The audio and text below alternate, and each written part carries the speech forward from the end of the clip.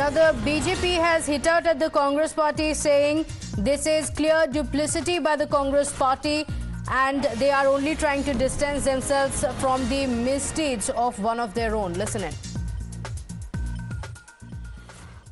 This is an old habit of Congress party. When they get in the wrong foot, they distance themselves. But this is not going to affect. The people of this country know that what, whatever 300 crores has been recovered is just the tip of the iceberg. This liquor scam is going in not only one state, it's connected from Jharkhand to Chhattisgarh. And let me tell you, many former CM of Congress are also involved in this. We have been telling this for the last one and a half months. This money was actually, it's a pocket money. In every parts of India, this pocket money is there. And this is just being assembled for the Lok Sabha elections. देखिए, एक बात तो स्पष्ट हो गई कि कांग्रेस का हाथ काले धन के साथ है। अभी तक हमारी सूचना के अनुसार 400 से ज़्यादा करोड़ रुपए कैश की गिनती सांसद धीरज साहू के विभिन्न ठिकानों में हो चुकी है और ये आंकड़ा संभवतः 500 करोड़ कैश की ओर बढ़ रहा है। और आप सोचे सिर्फ़ कैश की बात कर रहे हैं, अभी तो उनके प्रॉपर्टीज़ के लॉकर्स खुलने बाकी हैं। प्रॉपर्टीज़ को खंगालना बाकी है। तो जो कांग्रेस जिस तरीके से करप्शन में डूबी रही है, देश को लूटा है, एक बार फिर से एक्सपोज हो गए।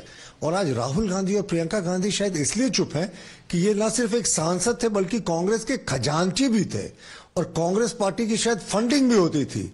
तो ये तो पैसा मुझे लगता है कांग्रेस के शीर्ष नेतृत्व तक पहुँचता था, तभी अभी तक राहुल गांधी और प्रियंका गांधी ने अपनी ज़ुबान नहीं खोली। Let's go across to my colleague Abhishek, who's joining us on the broadcast from outside the residence of the Congress leader. Uh, the raids still taking place, multiple other locations also being identified. Abhishek, over the last five days now, the raids and the counting of money still going on. 200 bags have been brought in by the income tax officials.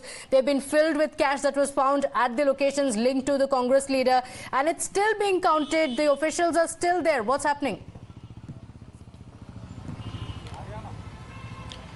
Well, absolutely. Now the count has begun and uh, it is about 200 bags which has been recovered from the associate, from the companies as well as the from the residences of the uh, Sahu Congress MP. Right now we are standing at Sh uh, Sushila Niketan which is Ranchi based uh, uh, his house and here also the income tax team is inside and this is the fifth consecutive day and raids have been carried out in various places like at Ranchi, Sambalpur, uh, Titlagarh, Baud, Raud Kela, Soragarh and in uh, Bhubaneswar, Odisha as well as the uh, Kolkata region. And uh, till uh, yesterday it was estimated that around 290 crore rupees were recovered from uh, Dheeraj Sahu's uh, associates and his uh, different different you know location. The CISF and the paramilitary team is also inside. You can see in the visuals they are also here to protect the you know the whole raid team and it is the five member uh, sorry five raid teams uh, IT teams which are conducting this whole raid operation. This Sahu family has old association with the Congress party